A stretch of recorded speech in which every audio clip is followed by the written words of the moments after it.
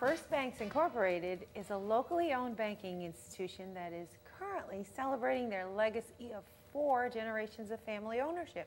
Here with me is the chairman of the board of directors, Michael J. Dierberg. Such an honor to have you here today. Thanks for having me here. Four generations. That's a lot. That's kind of unheard of, I hear. It is rare. Only about 3% make it to the fourth generation. That's interesting. Now, Dierberg's is kind of synonymous with grocery stores in St. Louis, but yet this isn't a grocery store we're talking about. Right. Now, we happen to have, First Bank does have branches in uh, Dierberg supermarkets. So maybe it would help if I told you a little bit of the history of both because they did follow a, a parallel path. I love history. Okay. uh, so uh, in 1906, uh, First Bank, different name at the time, was founded in Creve Coeur, Missouri. 1910, uh, uh, my great grandfather uh, bought the bank, uh, just one branch bank, still in Creve Coeur. Um, and then shortly thereafter, that same person, this is William uh, also bought Dierberg's.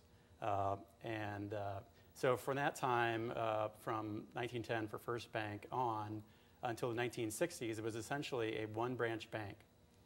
and for us, for First Bank, in, in the 1960s, my dad, he had done very well in the stock market and used that money to essentially to buy out his relatives.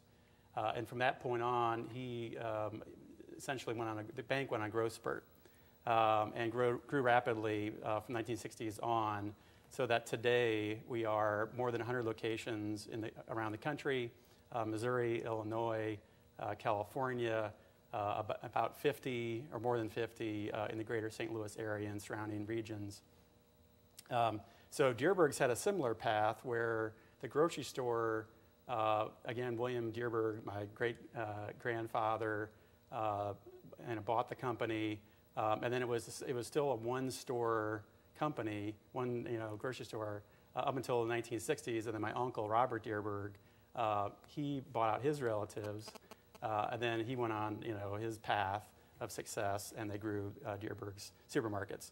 So the two companies are separate separate ownership. We're related, uh, good friends. Uh, we still see each other, uh, you know, holidays and those sorts of things, but, but separate companies. And we do have uh, branches in Dierberg supermarkets as well. Now that's really keeping it in the family. That really deal, goes with that. Okay, so what is so exciting about having local? You know, I'm, I'm big about what's one of the great things in St. Louis and about all the hidden gems and jewels in St. Louis. So it's kind of neat to see something that started in St. Louis doing so well. What do you attribute the success? I think uh, the key is, key, the biggest key for us is people. Uh, and I think this is a key for a lot of companies, and a lot of companies will say this, that people are really important to the company. And for most companies, it is, uh, maybe for all companies, but it's particularly the case for us. Uh, when you think about some of the larger banks in the country, they have names that everybody knows.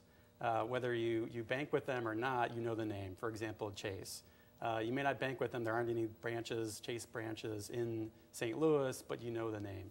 Uh, so um, for us, we don't have that name recognition. So for us, we really depend on the, the, the quality of our people, the ability of our people to provide great service, uh, and to connect in the communities that we serve uh, as our greatest strength. And what I think is interesting, you know, a lot of companies that start small and then grow bigger, you don't find the owners anywhere near the original. They've moved on to their big mansion somewhere else and they've left the town, but you've stayed, your family has stayed local. Your family very much still lives in this area. Why is that important, having a family owned business that started here to still be here? Well, I think you know, St. Louis is a great community. Uh, we love, I love being in St. Louis. Uh, I have lived in other places and, and returned uh, and uh, really love it here. And the family loves St. Louis. And for us, it really is important to develop and keep the bonds uh, strong within the communities that we serve. And St. Louis is really a fabulous community uh, for us. That's perfect. You know what? We have to take a quick break. But when we come back from this break, let's talk a little bit more about local, family owned, and one of the businesses here that started small but is really thriving in St. Louis and what that means the community to have such an amazing gem right here in St. Louis. We'll have more with First Bank Inc. right after this. Stay with us.